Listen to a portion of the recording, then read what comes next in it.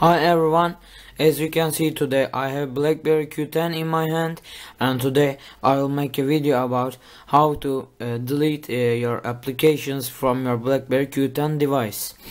Uh, first of all, uh, you can uh, install some applications from BlackBerry World as you can see it's here and if you want to uh, delete these applications uh, or uninstall these applications from your phone you just need to press on the applications for two seconds. For example I will delete uh, Total Conquest.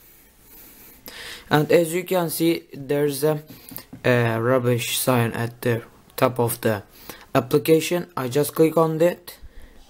Sorry I will try it again I just click on it. As you can see it says delete total conquest.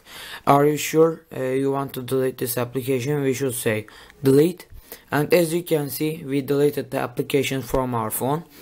Uh, that's all for uh, this video. I hope you enjoyed. I will also uh, share uh, some videos about uh, different phones and also about blackberry q10 please subscribe our channel for more future videos. Thank you